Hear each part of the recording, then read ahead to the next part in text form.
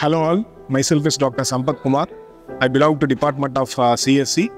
Our college third year CSC students have developed a product, a smart billing system for our college uh, amenity center. Earlier, this product was developed by our college alumni. As per the latest technological trends, the product has been enhanced. Deployed in kiosk system in amenity center and now we are going to witness the same. Hello everyone, I am Mohan Prasanth. We have done an interesting thing. Before getting into the thing, let me introduce our teammates Sowraj, Vijay, Vignesh, and Ratheesh. Together, we have done a project that I'm excited to share with you all. In our college, we have taken an action of enhancing an existing billing kiosk system, which was initially developed by our seniors, Aravind and Naveen Kumar.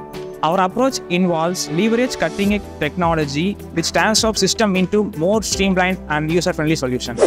Our project entails the empowering users to order the good products from a Sri Eshwar Amenity. After placing the order, the QR code will be generated. Generated QR code serves as a key and it generates a bill. It is very useful for the user.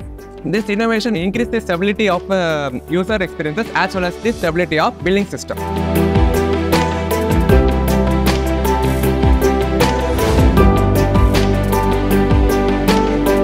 Hi, looking forward, we are planning to create a startup company based on this product. Our area focus are food court in colleges, malls and theaters.